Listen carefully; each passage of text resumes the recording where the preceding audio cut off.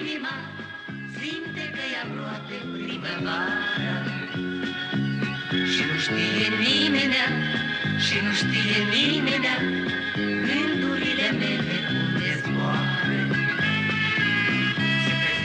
Cu drag ne amintim astăzi de Mihai Dolgan, artistul care ne-a adus și ne-a purtat noroc. S-a născut în zi de 14 martie 1942 în satul Vladimirești, raionul Sângerei. În perioada anilor 1959-1962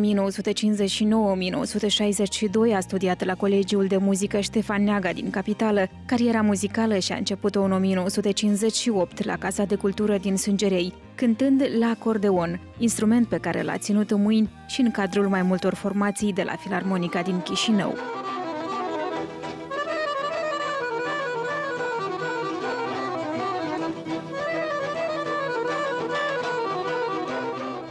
În anul 1967, Mihai Dolgan a înființat ansamblul instrumental Noroc. În 1970, formația a participat la Festivalul Internațional Lira Bratislavei, unde a primit premiul Simpatia Publicului. După acest eveniment, trupa a plecat într-un turneu prin Ucraina și ar fi trebuit să plece într-un alt turneu în America de Sud, dar a fost desfințată. În anul 1974 s-a permis reorganizarea formației în cadrul filarmonicii cu numele Contemporanul, denumire care a rezistat până în 1985, după care s-a revenit la denumirea inițială. Are fedor și gând Are fedor și gând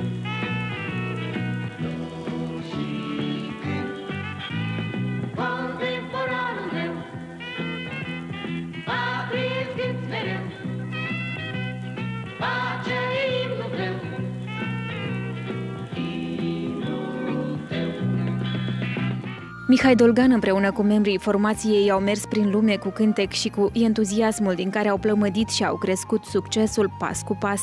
Au continuat să facă artă chiar dacă piedicile au fost multe. Muzica a fost parte din viața artistului. Mărioare, mărioare, dor dor dacă o moare, mai măi. De te-ai face patul în vie, te-aș da durul numai ție, măi, măi.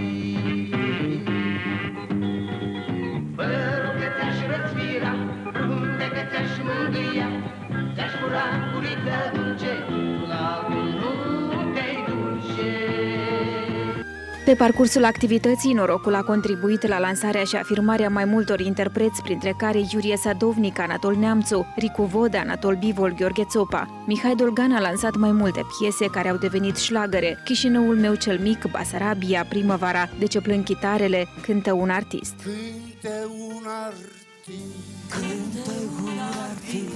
Zâmbet optimist. Zâmbet optimist. Numai dorul lui Numai dorul lui Nu-l spune nimănui. Deși nu mai este Mihai Dolgan, legenda rocului moldovenesc, a lăsat urme în istoria muzicii de la noi, iar astăzi Lidia Botezatu și Radu Dolgan continuă să facă ceea ce n-a reușit artistul, cu aceeași dragoste și cu același entuziasm.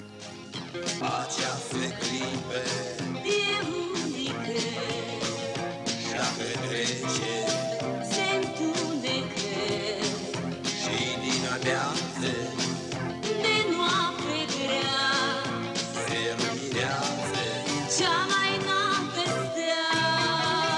În 1977 lui Mihai Dolgani s-a acordat titlul de artist emerit, în 88 cel de artist al poporului. În 2001 a fost distins cu Ordinul Republicii. Dânsul și-a îndeplinit misiunea de artist, atâta timp cât melodiile i-au rămas vii până astăzi și Mihai Dolgan mai continuă să trăiască.